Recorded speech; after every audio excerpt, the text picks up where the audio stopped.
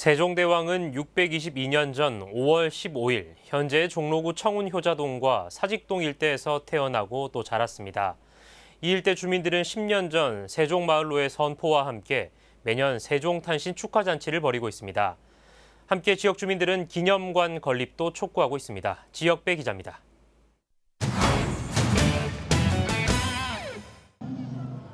세종대왕과 소헌왕후, 신하들이 광화문 앞에 모였습니다. 조선의 창업을 찬양하고 국가의 평안과 국군의 번영을 바라는 궁중무용인 복례의 공연을 관람합니다. 창신동 풍물패를 앞세운 어가 행렬이 시작됩니다. 관노비가 막아서면서 신문고 격쟁, 육아 휴직을 허락해달라는 민원을 호소합니다. 탈진한 몸으로 혼자서 아이를 돌보느라 고생이 막심하옵니다.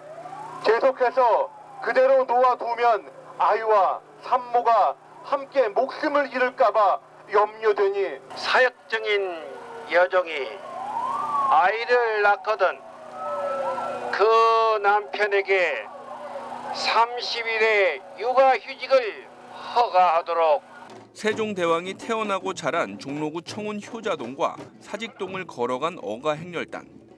일대를 통칭한 세종마을의 세종마루까지 행진하며 지역의 역사, 문화적 가치를 다시 한번 생각해 봅니다. 어, 역사책으로만 그냥 외우다시피만 했는데 이렇게 직접 참여해서 마을 곳곳까지 돌아보면서 했기 때문에 좀 더 인상이 깊었고 마을에선 5월 15일 세종탄신 622도를 기념하는 큰 잔치가 벌어집니다.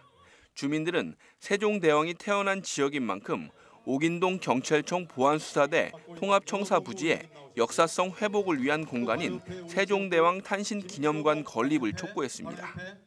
세종대왕이 나신 날 세종대왕 숭모 행사를 하려면 적어도 세종대왕이 나신 곳에서 하는 것이 이치에 맞겠다 하는 것이 저희 어, 시민들의 생각이고 이곳 주민들의 생각인 것입니다. 종로구 세종마을 가꾸기회는 지난 2011년 세종마을 선포 이후 매년 5월 15일과 10월 9일 한글날 훈민정음 반포식을 재현하고 있습니다. 딜라이브 서울경기 케이블 TV 지역배입니다.